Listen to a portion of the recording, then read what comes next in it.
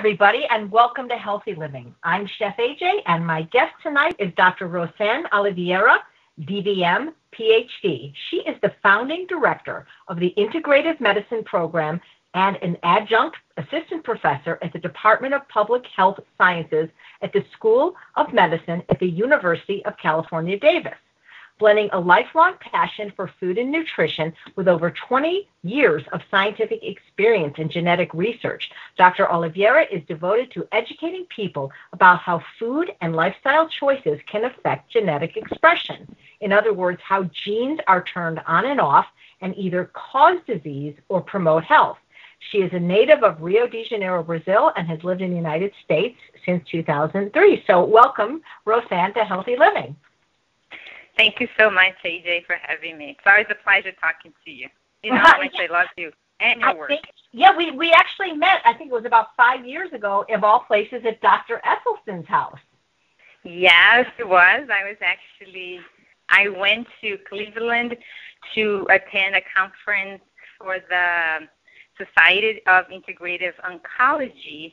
And then when I wrote Anne and Dr. E, I said, I'll be in Cleveland. I'd love to see you. And then I was leaving to China actually, and then I received an email from her, and I said, if you come into Cleveland, you cannot stay at a hotel. You have to stay at a house.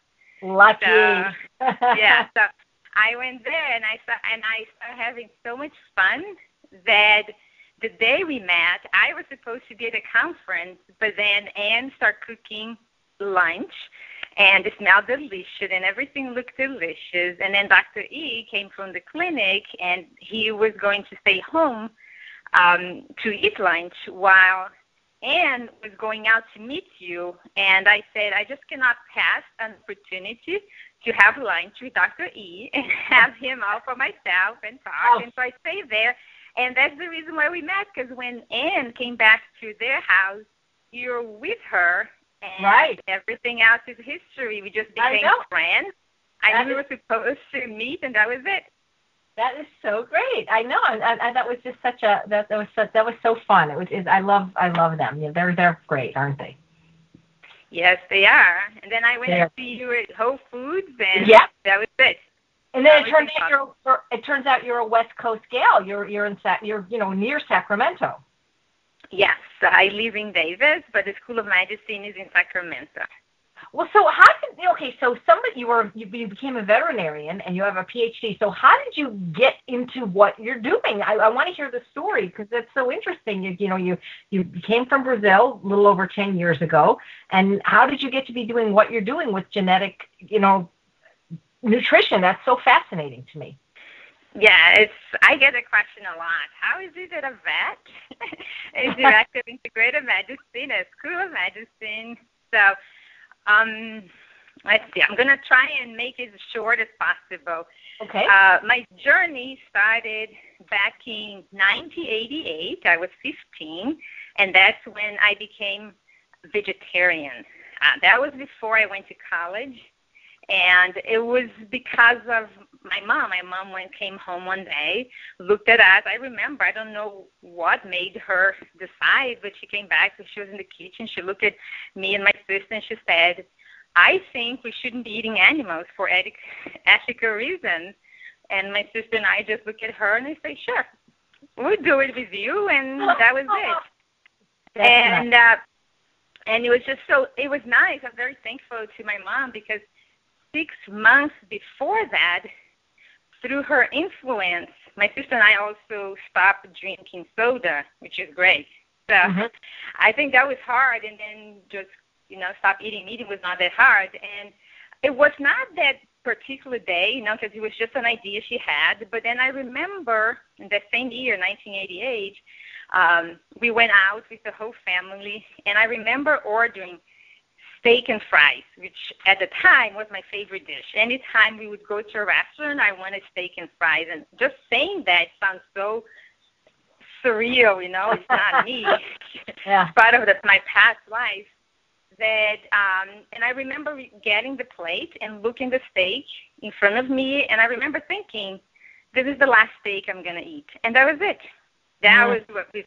But uh, interesting enough, nobody would discuss veganism in in Brazil. So to me, being vegetarian is all you could do, you know, to be nice with the animals. And not, not until I moved to the U.S. that I started hearing the word veganism, I say, oh, you can actually go beyond, you know, you mm-hmm. can give up eggs and dairy and all of that.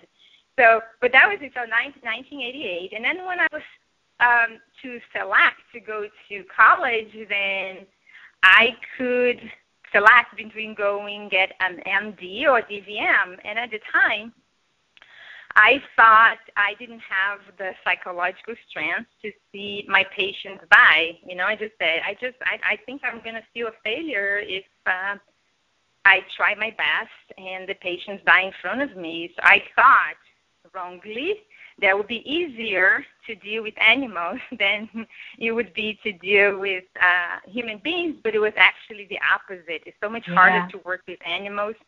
Uh, there's no respect for animal lives. You know, animals get sick, and then the owners, even owners for cats and dogs, sometimes they just come and they say, "I'm supposed to spend two hundred dollars on antibiotics. I don't have that money, uh, so I don't want the dog anymore." And so, what mm-hmm. are you supposed to do? I don't know. Give it away put it, you know, put it down. I, I so that's that's what happened. That's the reality. But so what happened is that um, when I was in vet school, then seven years later, I moved to Germany to work in clinics at the time because I was vegetarian. I knew I didn't want to work with small animals. I knew I want to work with large animals. So I went to do clinics with horses and dairy cows. They were my passion because I was no true veget- uh, vegetarian. I thought that my work or my life mission was to produce more dairy so more people could eat more cheese and more ice mm-hmm. cream. That was my mission, right? Mm-hmm. Um, and then when I got to Germany, I fell in love with research. I went there to work as a clinician and I fell in love with research. And then for the past 20 years, that's what I've been doing. I started with doing research on genetics of pathogens, you know, microorganisms that cause diseases, viruses, bacteria, parasites. Mm-hmm. And then eventually in 2003, when I moved to the U.S., I came to do research in cancer initiation and progression um, following of um, infection by a retrovirus. But at the time, there was another project going on in the lab that I joined at the University of Illinois that was studying the effect of a high-fat diet on animals, dairy cows, that had specific genotypes. So as a matter of fact, the the research was to see how much how a high fat diet will cause metabolic diseases in cows. And it just so happened that we were checking gene expression, then we noticed that cows that had specific genes and ate a high fat diet, those two things combined, they were more likely to develop metabolic diseases. So it was a big aha for us. And, you know, like just those coincidences in life, like the way, the day the two of us met, um, I picked up a copy of the China study from the library. I mm-hmm. expected something completely different. I had no idea what the book was about. And what happened was there, so you can imagine, so there I was, I was seeing changes in gene expression related to cancer initiation and progression in one project, my own project. In another project I was collaborating with, I was seeing changes in gene expression related to diet and fat, right? Diet, fat, and genes in this other project. And here was, I was reading the China study, and then it was telling the scientific discoveries by this researcher from Cornell, researcher from Cornell University who started his career with dairy cows like me, then worked on cancer research like me, mm. and did nutritional studies like me. so that author we all know is Dr. T. Colin Campbell, yep. and he was bashing my favorite food. So I was really upset to read the book. Um, but we had so much in common, know, our background, the type of research we are doing. I was intrigued, and then I said, you know what? I'm going to read this book to the end. But something else was also driving my desire to finish the book. And I say, you know, I'm a scientist too. I know that by the end of the book, I'll have enough evidence myself to disprove anything that he's saying in this book, and then I can continue my life eating dairy and never think about this book again. But the more I read, the more I liked it. so, and interesting enough, I was reading this book. I picked the I picked the book up when I was traveling, so I was I was not at home when I was reading. But as I was reading the book, I was eating ice cream the whole time. And when I closed the book, I still had a pint of ice cream next to me. And then I remember it was like Sunday evening, was November 30, 2008.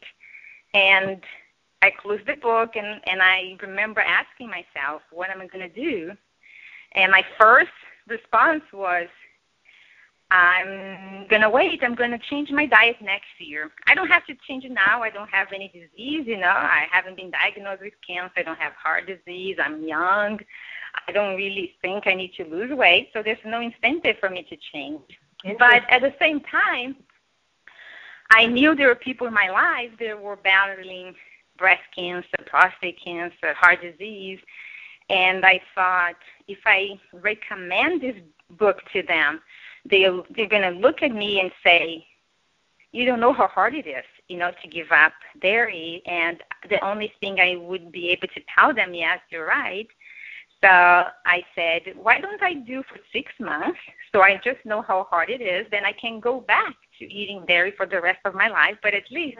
When I recommend the book to someone, they won't be able to say, You don't know how hard it is. And I'll say, Yes, I know because I did it for six months. so it's been seven years and the rest is history, as they say. But that's how I became plant based. But I was still at the University of Illinois and doing research with diet and genetics. And then there was this opportunity to start the integrative medicine program at UC Davis. And because of my research background, when I came to be interviewed, I said that my desire was to do exactly that, you know, cha- uh, show how diet can change gene expression and can either cause disease or promote health. And the physicians apparently liked it.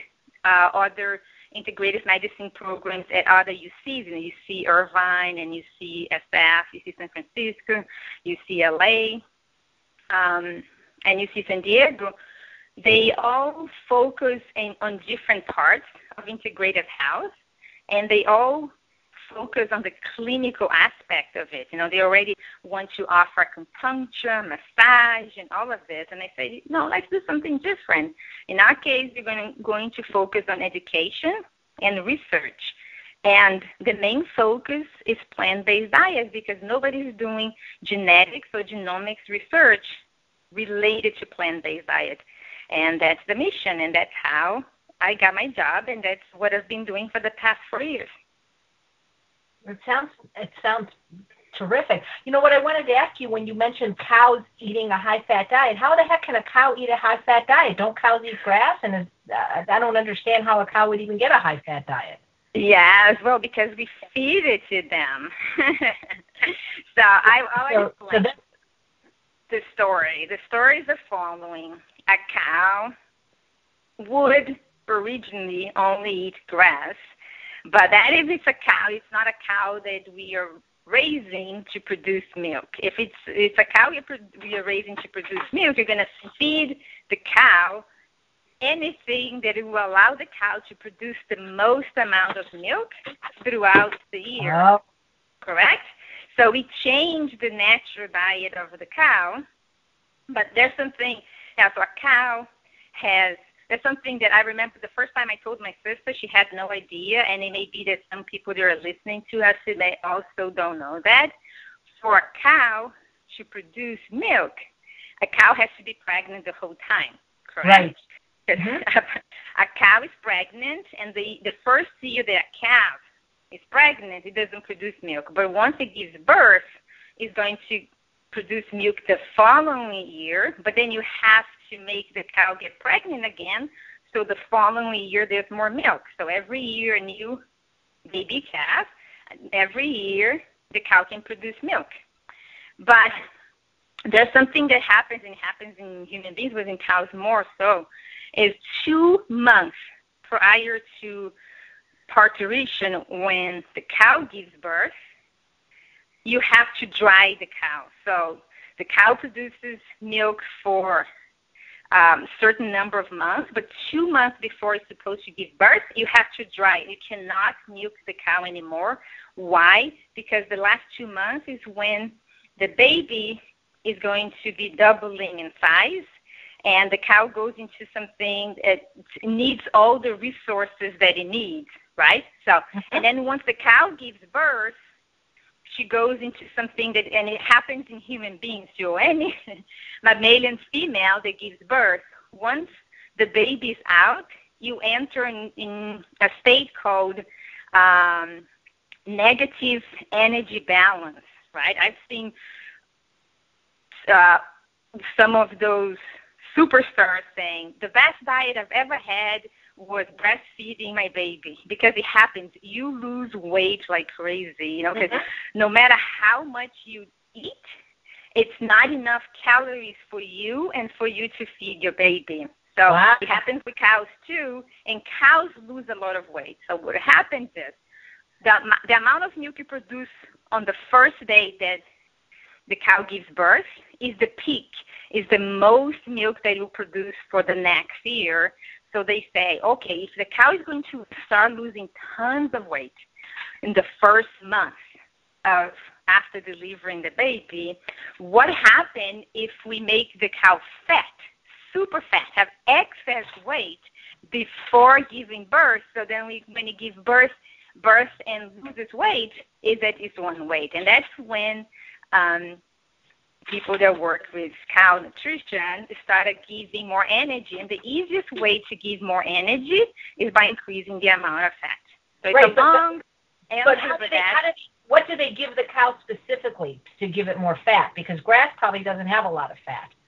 No, you know, to tell you the truth, I don't remember. I would say it's like mix of oils. Wow. And um, there's also I know the cows eat a certain a fair amount of corn and a certain a fair amount of soybeans. Soybeans have a lot of fat, but yeah. I can I can't remember. It's been such a like 25 years that I study, sure. you know, animal nutrition. Mm-hmm. But I would think it is some sort of um, um, oils or combination. Or, but I'm not sure. I can't remember. I'm sorry. I, but that's. I just find that fascinating because, you know, Dr. McDougall's been saying for 40 years the fat you eat is the fat you wear. So I guess that applies to cows as well as humans. Yes, that applies to everybody.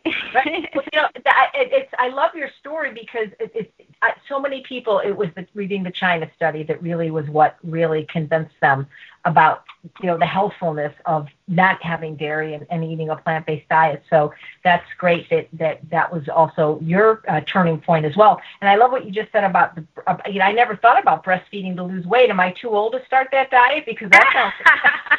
that sounds that sounds good to me. You know, um, one of the first times I heard you speak was at the McDougall Advanced Study Weekend, and I was so fascinated by your talk, and that was really the reason I wanted to interview you, Rosane, because I honestly didn't understand a lot of it, but it was it was the the, the the, the things you were doing with your identical twin sister was fascinating to me. And if, if you wouldn't mind, I'd love for you to talk a little bit about what you're doing because it maybe can explain some of the, the, the, the things that we want people to know about fat. And then you talked about this gene that I had never heard of, but now I've researched it, and apparently you can get tested to see what, what variation you have. And I'd, I'd love to know as much about that as you're willing to share. Okay, we'll start from the beginning. Um, I was, as you said, I, as you just said, I was born an identical twin, and up until our 20s, I believe it was like 1995, my sister and I were truly identical in every sense. Right? We we lived in, under the same roof. We ate a very similar diet. The only difference is that she went to law school while I went to vet school to get my DVM, but everything else was the same. And then in 1995, She graduated from law school, but at the same time that I moved to Germany to live there. And what happened is that we both start changing our diet. We were not living in the same roof, and then she started. You know how lawyers are; they start going before when they're students, they eat every meal at home, and then when they became and they become lawyers, they eat every meal outside of the house, right? Breakfast, lunch, and dinner, all these meetings and everything. And I went to Germany. I continued to be a student. And interesting enough, we when you think about Germany, we think about dairy too, like the same with Netherlands. But dairy is very expensive there. Mm-hmm. And I was a vegetarian when I moved to Germany. I ate rice and vegetables. Um, and in Germany, there you don't buy by the weight like here. You buy by the slices. The good cheese is like I want two slices of this cheese, so I would buy two, three slices of a cheese. So I started eating even less dairy, and I never like eggs. So then when I came back to Brazil a few months later, then I noticed that my sister was maybe 10, 15 pounds heavier than me. And that surprised me, you know, like in six months and that much change, or maybe it was even less because I, I went and I came back. I went back to Brazil and back to Germany a few times. And then what happened is that for the past 20 years, the gap just increased. And it's interesting, you know, sometimes they say the truth is in front of you and you cannot see. Here I am, I'm a geneticist, but I'm not working on obesity, so I'm not paying attention, right? And then back when it was 2012, I stop and I say, wait a second, how is it possible that two people that have identical genes, and those genes would include the genes for obesity, can can be 40 to 50 pounds apart for such a long time? That's not possible, you know. When we think about obesity, we always like to blame the genes. We have identical genes. The only thing that can happen is the food choices that we make. But because we were living in different places, you know, different states, different countries, never get a real chance to stop and I say, hey, hey, what's going on? So in 2012, then I invited my sister to come back to the U.S. because when I first moved in 2003, she came with me. But then she, after six, five, six years, she went back to Brazil. So, but in 2012, I said, would you come back to the U.S. and be here with me in California? And because here's one thing for everybody that is listening us now, the ones that already made the transition, the ones that are thinking about it, one of the big challenges that people talk about is that when they don't cook themselves and when they don't know how to cook, it's very hard to make the transition. So that was one of the reasons why I asked her to come because my sister doesn't like to cook or doesn't know. She, I think she would even like to cook, but she didn't learn the same way I did. And then I said, so if you come here, you don't have to worry about cooking. So all you have to do is whatever I'm eating, you eat the same. And just for the fun of it, um, I'm going to get some blood tests. We're going to do blood tests. We're going to check our microbiome. And I'm also going to check some of our genes, you know, some some of our genes, just to show people that we are truly identical. Because the first time I gave this talk and I said, these are the blood markers from the past 20 years, and this is what's going on. People say, how can you prove that you're truly identical? And that's why I went to do the genetic test. But then I, I, the more I dig in, the more I realize, oh my God, look at this gene, and look, we have all of these genes for obesity, including ApoA5, but here I am, thin, not having weight problems at all, but my sister is having. So it's I don't want to give people the false impression that obesity is one gene thing because it's not. There's more than 130 candidate genes that have been already identified, more than another 90 mutations that have been identified. Many of them don't even have a gene that can be associated with a mutation yet. It's just a mutation you found in the on the DNA. So, but then this particular gene caught my attention because it was already being reported in um, in a study done with patients in the Framingham cohort that if someone it's more than 30% of the daily calories from fat, that BMI and weight will increase. And this is, increase will be dose dependent, or they, what they call linear, meaning the more fat you eat, the higher your the risk that your risk is higher, that your BMI is, BMI is going to be high, and that the, your risk is higher that you're going to be overweight and obese. And I say, boom, that's it. It's fat. And I was always always looking for something, you know, the the big carbs versus oils debate. And I think that's it. That's how we can prove it is.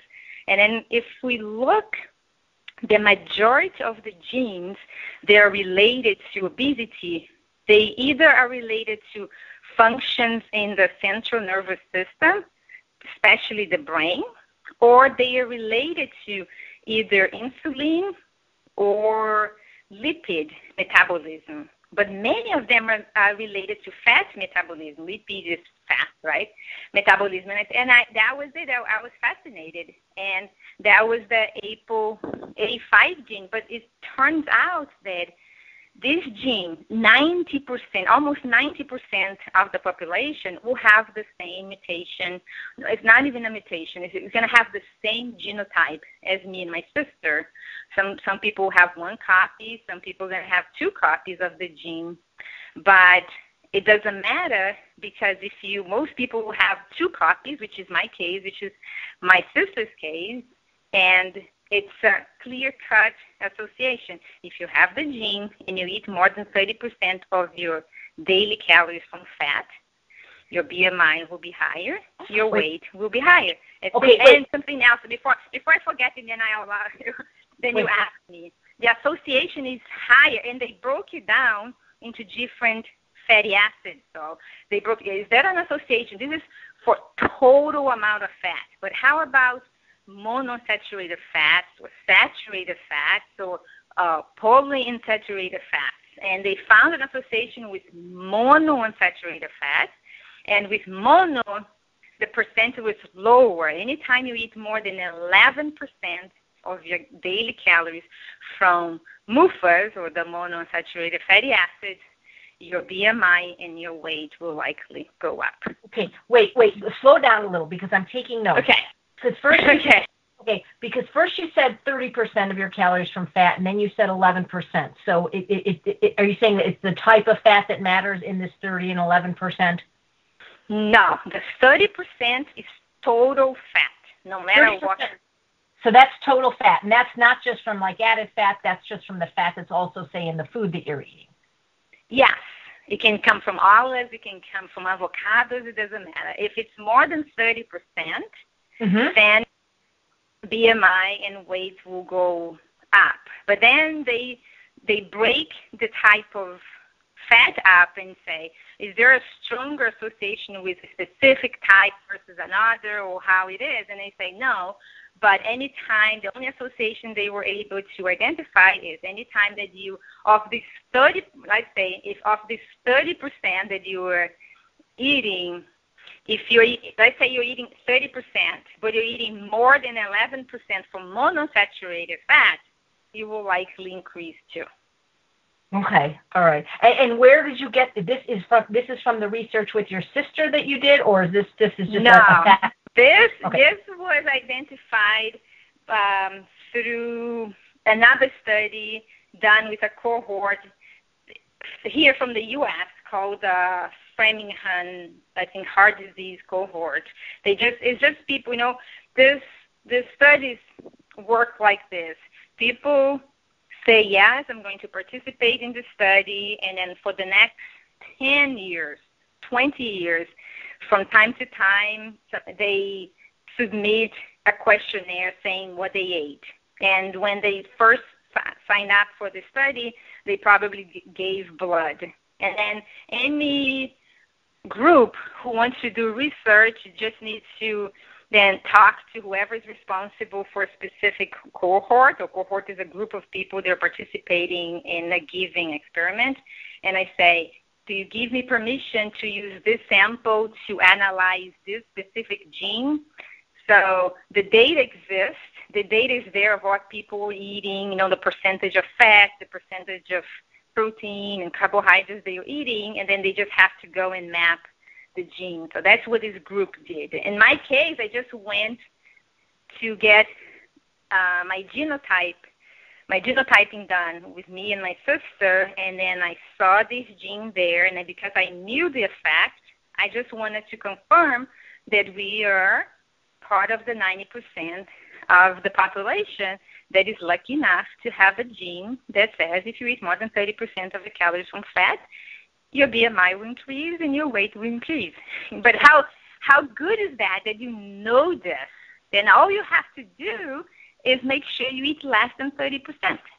Right. Correct? And so and so what, if, if anybody wants to get the testing to see if they have this gene to see how much fat they could eat, how do they get it? Who orders it and what is the name of the test?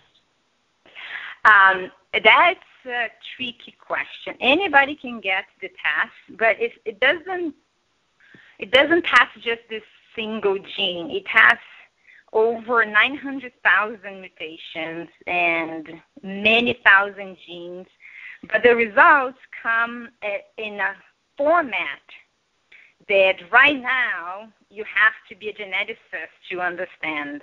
The one I got it done. I don't know if there's another way of getting done, but I think, in my opinion, is beyond the point because if I'm telling you that 90% of the population has this combination of genes, it means that only 10% of the population will be lucky enough that 30% of fat will not make their BMI increase. So I wouldn't waste money. Sure. I know everybody gets everybody gets curious and say, I want to know, I want to know. But the thing with obesity, AJ, that you have to understand, and everybody else also, it may be that you got lucky with this particular gene, and you are part of the 10%.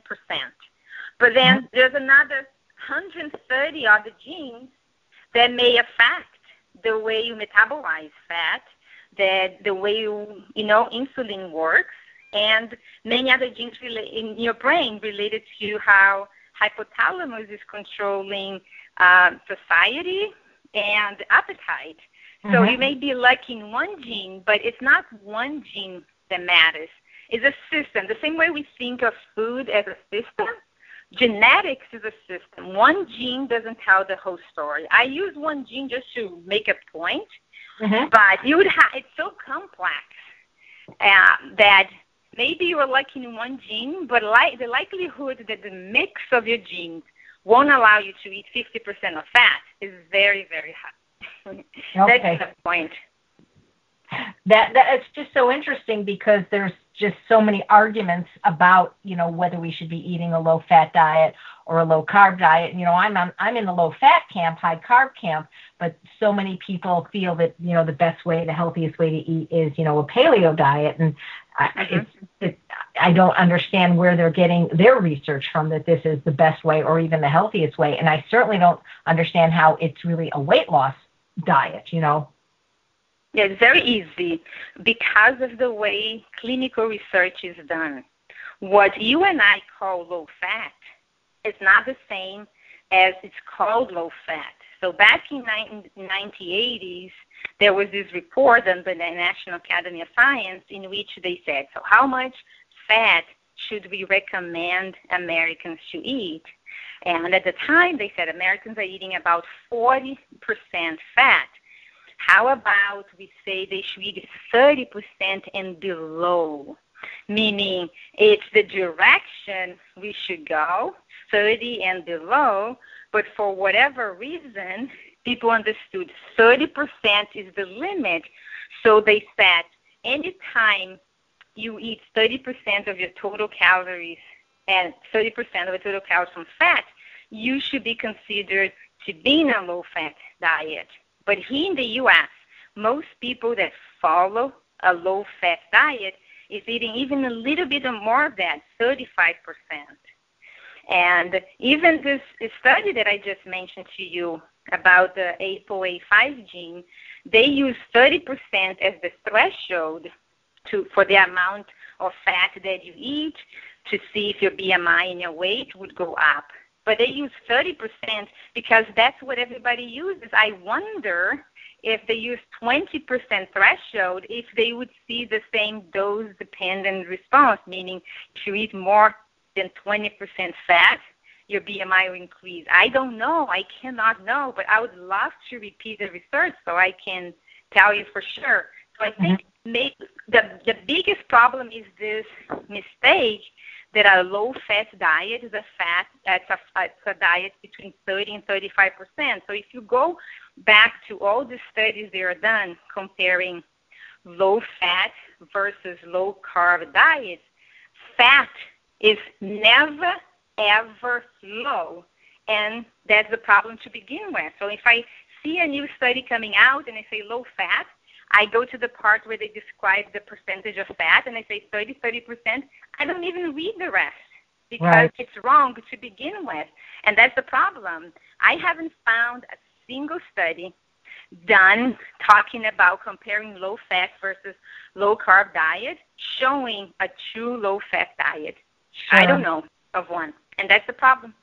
Right, uh, right. That's so interesting because I know my journey was until I went on a, a low-fat diet. I was never able to lose weight on any program. So you know, I, I, I mean, that's just how it was for me. You know. Yes, I do. But then you wanted to talk specifically about the nuts in your diet? I know. Yeah, well, you, you know, uh, nuts. Yeah, that's a very controversial. You know, I just uh, was just, that came up just recently at the McDougall Advanced Study Weekend because people. It seems to be a very heated topic. You know, people just get very attached to their nuts and whether or not they can eat nuts and lose weight or not gain weight or not gain as much weight. So I'd love to know your thoughts on that. Yeah, it's not. I'm going to give you the answer that Michael Greger gives me when I say, "What are your thoughts on it?" I say, "Oh my thoughts is that what science says." Yeah. um, so what happens is the same way I just told you that what researchers are defining low fat is actually not low fat.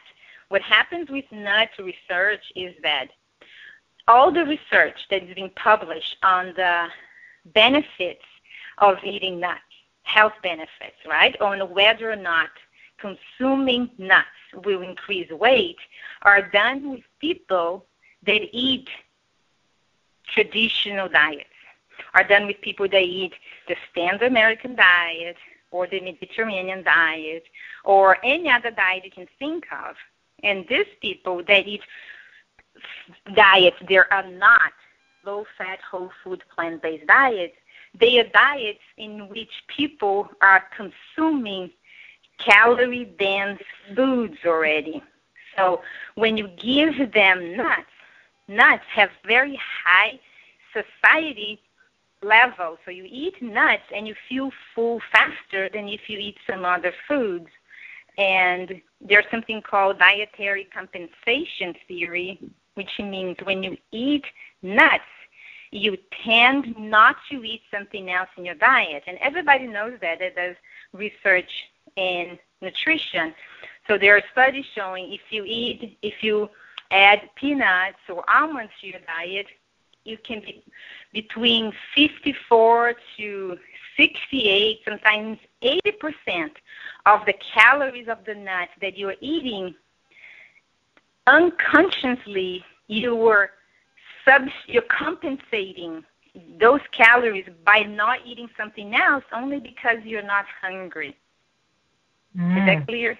Absolutely. So that's it's it's a compensation. So and if you are giving nuts to people, they are eating, like I said, diets.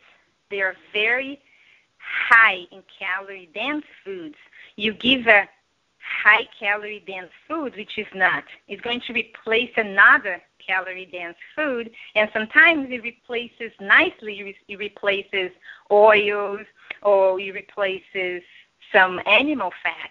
So in the end, it's positive. So what happens is they say nuts sometimes may help someone lose weight.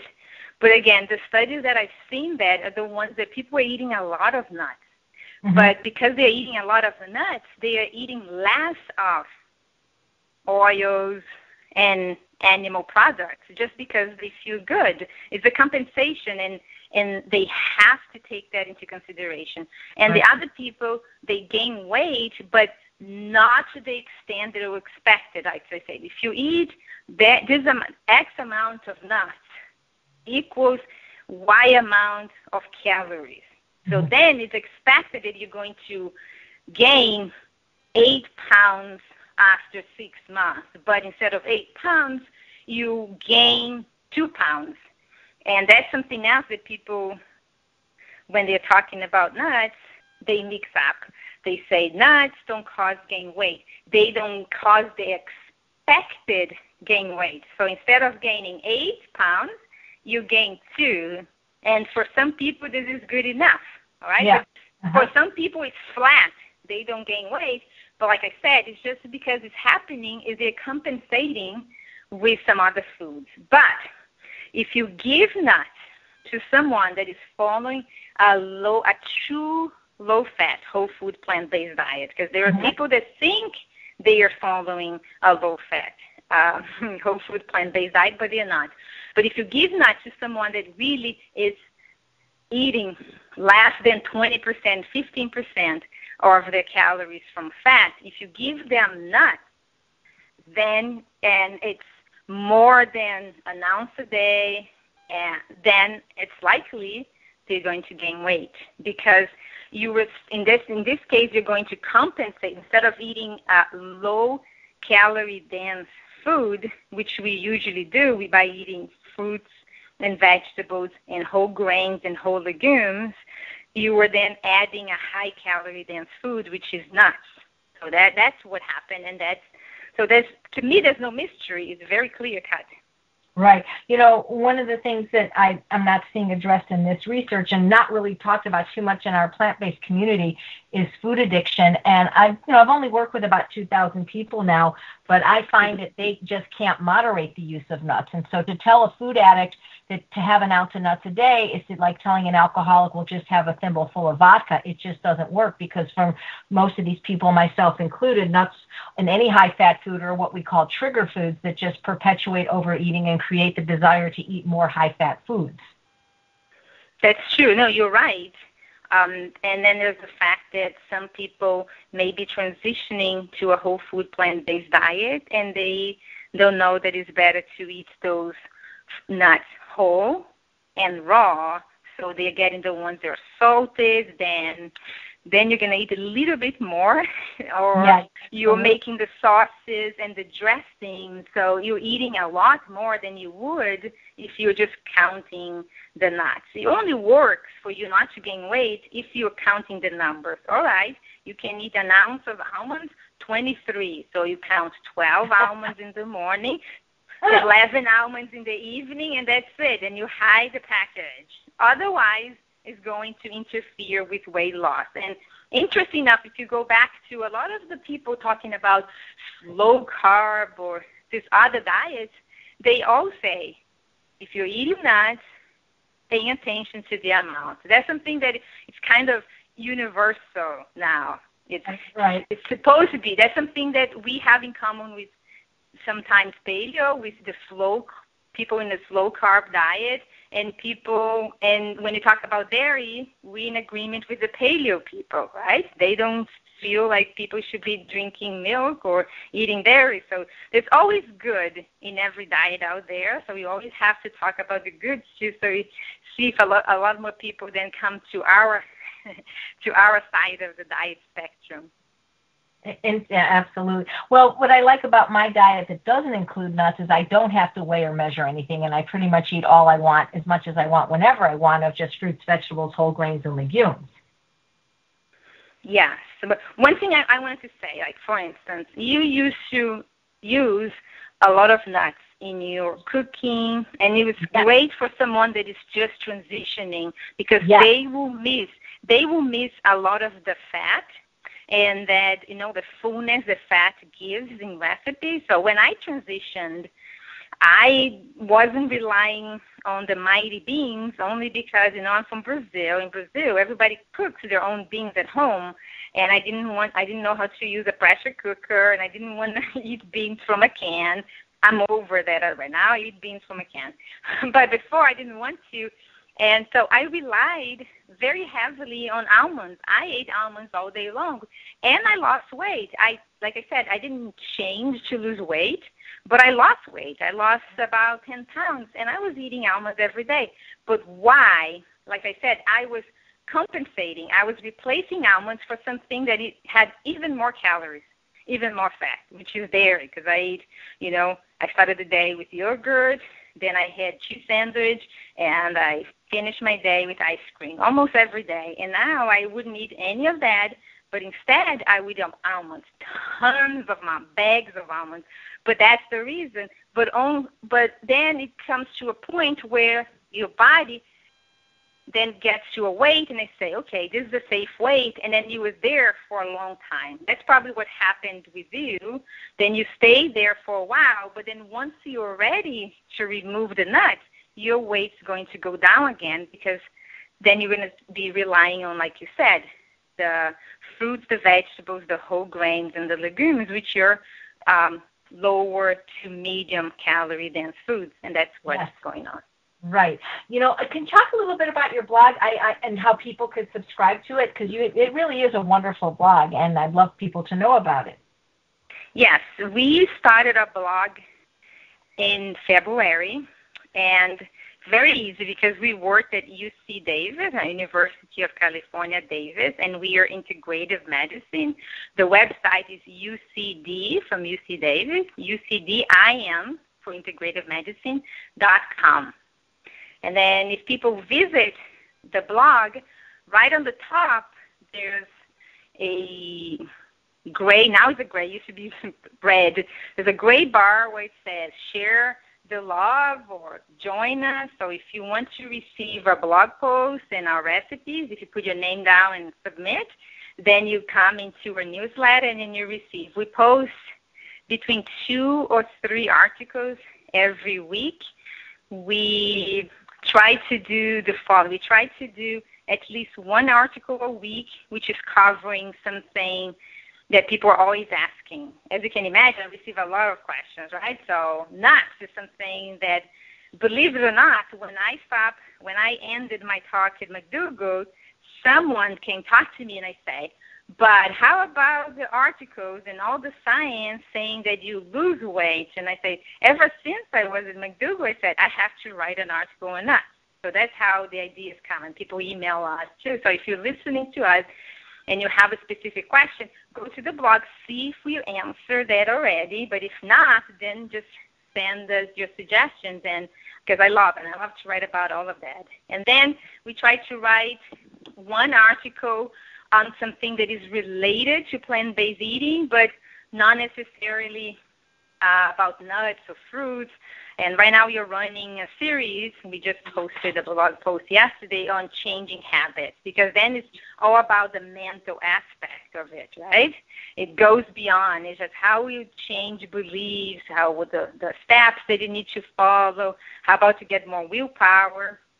And then on Sundays, we post about uh, facts, you know, things that are going on right now, and how is it that they can be related to plant-based living. And we always share a recipe on Sunday. So I almost often tell people, you know, you should expect to receive two, if not three emails from me every week. But that's all. All I send is this. It's just to, uh, to tell you a new blog post is up, and then you click and you go there and you read it.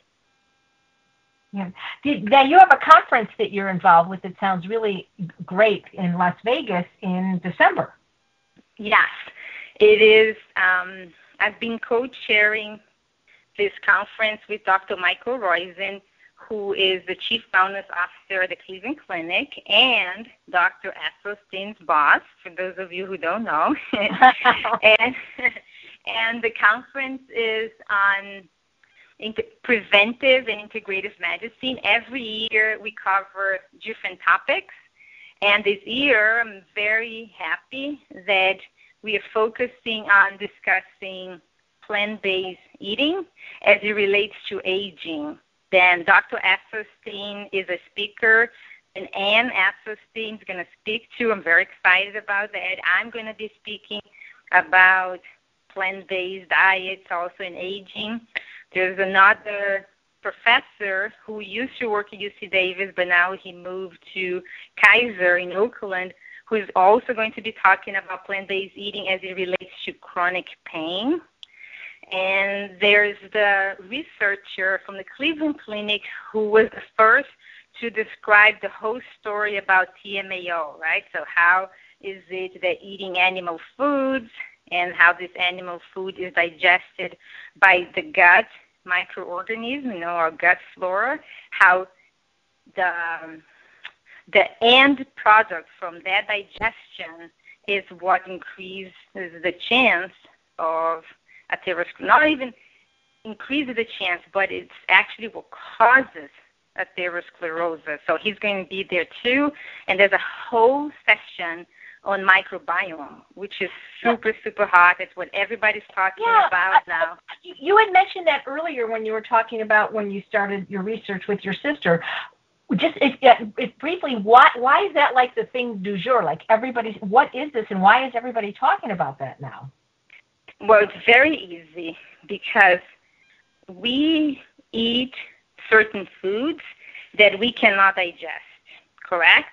So yes. the food that we eat that is not digest, most of it then gets to our intestines, and then when it gets there, it's our gut flora, this gut microorganism that we have that is going to then further digest the food. And this is it, this is new because all that we know about how a specific ingredient is broken down gets all the way until it reaches the gut flora. After that, we don't know what what are the the ants, what we call metabolites. They are produced by this this microorganism. So, like I just gave you the example, they said, okay, we you eat animal foods, and likely you're you're getting atherosclerosis and increasing your risk of heart heart disease because of the fat or because of the cholesterol, right? Saturated fat, or is the protein. But now what they're showing, it goes beyond that because there are certain elements of the digestion that when the bacteria digests it further, it's going to produce what is actually going to uh, cause atherosclerosis. And it's the same for everything else. So everything that we eat matters. And, and it makes sense now that bacteria digest cellulose, right? Bacteria can digest parts of plant foods that we cannot digest. If we if we if we go back to talk about the cows that we talked at the beginning of this conversation, and it's my chance to maybe correct a few people that are listening. One, and I think I'm going to write a blog post about it. One of the things that I don't like when I hear people say, "Oh, you know, cows eat grass and they are strong, they don't need calcium, so why not cut the middleman, which is the cow, and eat grass instead?" And I say this is super wrong because cows have four stomachs. They are ruminants, and we have a completely different digestive system, so it's wrong. Never ever say that again, that you're cutting the middleman, because you would, you would never be able to eat grass and survive the way a cow does. So that's wrong. I, have actually been I've actually been guilty of saying that, so now I won't say that anymore. don't, don't. And, and then because what happens is cow has this gigantic, it has four stomachs, the biggest one, the first one, is called the rumen, and that's where their bacteria resides. So cow eats grass, but a cow cannot digest the grass just by using the enzymes in the stomach the same way we wouldn't be able to. But the grass then is accumulated in this big first stomach, and then the bacteria digest it. And mm-hmm. cow ruminates, it grows. The rumination means that the, they eat the grass. The grass goes inside the stomach. Then the bacteria starts, you know, digesting, and then this goes back to their mouth, then chew a little more and goes back and it's a sticker. It's disgusting, but that's what happens. We don't have this mechanism. So whatever we eat that is plant food, fiber, you know, the what we call the insoluble fiber, the things that we cannot digest, they are feast for our gut flora. So then when we talk about why is it so important to eat whole fruits, whole vegetables, whole grains, whole legumes, because when they are whole, they get to intestine and they are digested by our gut flora, and the things that we wouldn't be able to absorb as nutrition now are available to us, and that's where all the health is coming from. Mm. And that's why it's so important to eat high fiber foods and less fat. Wow. So, what are you doing with the medical school to get the, the message of plant based across, or are you doing anything with them? Well, we are. So, first, when we first started working here, what we did is, uh, well, I thought, I'm new. I cannot just come across and start saying, yeah, eat a plant based diet. So, I started inviting all our friends um, every three months, we invited a different friend. So Dr. Esselstyn was the first one. Then came Dr. Campbell. Then came Dr. McDougall. Came Dr. Uh, and We're going to invite, eventually, we're going to invite Dr. Greger to come too. So then the message was not coming from me, and we did a very nice event. It was like a whole day event in which we had the physicians come, like Dr. Esselstyn would come, he would give a grand round lecture.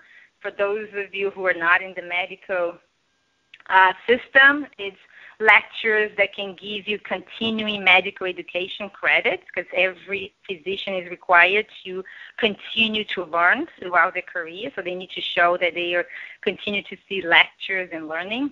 And and what we were gonna what we used to do, and we're going to go back to doing, is we would have a nice plant-based lunch in which we would invite a few of the physicians working in that area and would allow the physicians then to ask questions to the speaker without being in front of staff or nurses or students because nobody wants to ask a question about plant-based diet in front of everybody and they say, ah, you know, it's going to show that I don't know. So we made it safe for the physicians to learn from all of these wonderful, uh, you know, researchers and physicians that started before us, McDougall, Esselstyn, and it was very successful. We start, successful. We started having nurses and staff and physicians all changing their diet slowly.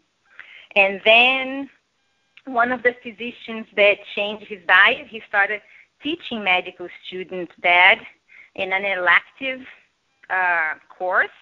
And now that he left UC Davis, I'm responsible for that class. So I'm teaching medical students plant-based nutrition. And unfortunately, it's still an elective class, meaning only the medical students who are interested in learning more about nutrition will take. But all of them say, I wish this was, this was mandatory. And I say, it's going to get to the day that it's mandatory. Until then, you're lucky that you already know. So that's what we've been doing. But we want to do more for sure. Well, I would love to come to speak to them. I spoke at a medical school once in Ohio, and and I loved it. They were they were first year students, so they hadn't been uh, poisoned yet, you know. and it was yeah. it was fun. I did but, part cooking demo and part lecture, and I, I really I really enjoyed that. I always told you I wanted to come and give you a lecture here because they have hands-on experience and you're such a great speaker. What I was going to mention is this elective that I'm responsible for that I'm teaching now. I get students from all years, first, second, third, and fourth. I have two students from fourth year. I I really admire them because they don't have to be there. You know, they are in clinics already, but they sign up because they said, I don't want to graduate without knowing this. And they come in. So I'm very thankfully grateful for that. And they're great students. Yeah, it sounds great. Well, I, I, can't believe how fast this hour went by. So, is there any uh, final thoughts you want to add? And once again, maybe tell people how to get in touch with you and subscribe to your wonderful blog. Yeah, so one thing that I was going to mention is if people haven't read anything about calorie density, which is, you know, the basis of everything we've discussing. And one of the reasons why a whole food plant-based diet works and helps people keep a healthy weight.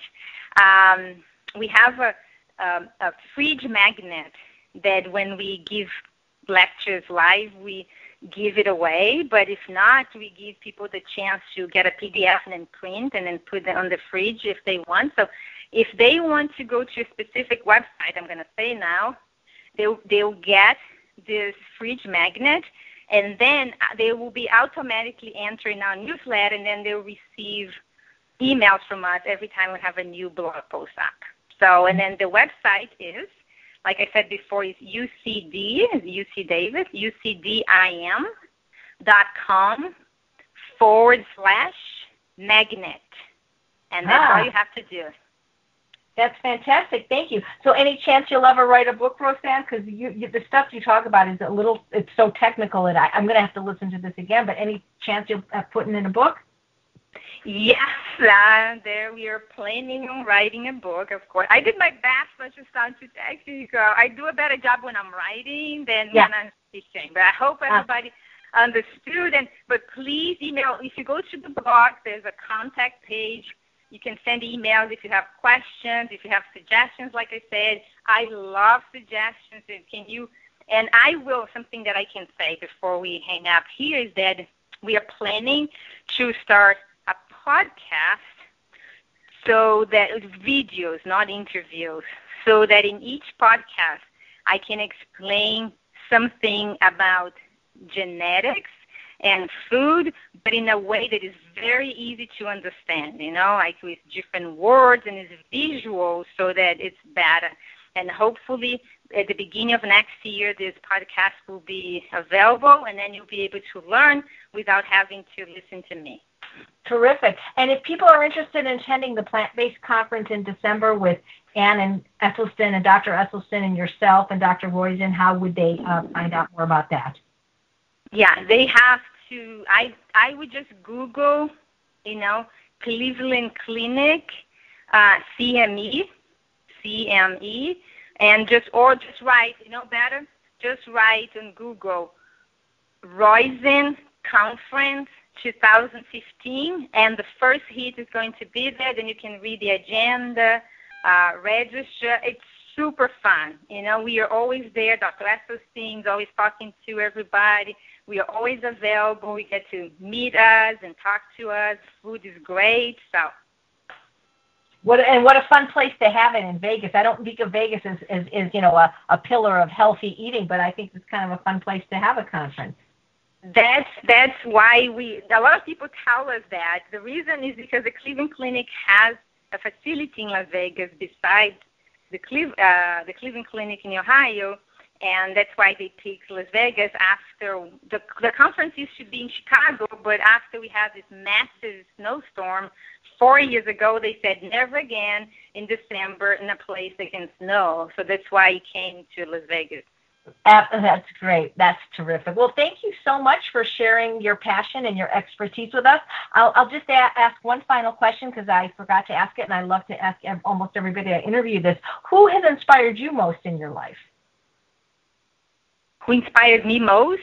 Yeah, it doesn't have to be somebody in the plant-based world. It could be your, you know, your parents. But I just that helps me, you know, just know a little bit more about you personally. Oh, okay. Um, in general, the person the person that made me learn the most was my mom in terms of um, learning, you know, about life and changes and all of that. With my from my dad, I learned my attitude, you know, always being happy, always positive. So I learned from both. Um, basically, that's where I would say. And then from outside, the blog post today says Tony Robbins. I've always loved his blog. Mm. So that was when I was already in my twenties, you know. But I think we learn, really learn who we are, and a lot of these other things from my parents. So I would have to say my parents. That's that's terrific. Uh, are your have you been able to get your parents to go to a plant-based diet at this point? I my mom tries and right. she's interested. She just says that I don't give her enough recipes for her to try. but give she's her, vegetarian. Okay, so. I'll give, give, give me her. Is she still in? Is, is she still in Rio? I'll I'll send her my book. If, yeah, she is. That's funny. She sounds great. Well, thank you so much, Rosane. It's been such a pleasure talking to you, and keep doing what you're doing because we need you. Thank you, AJ. Always a pleasure. Great. And thanks to all of you for listening to Healthy Living. I'm Chef AJ, and I make healthy taste delicious.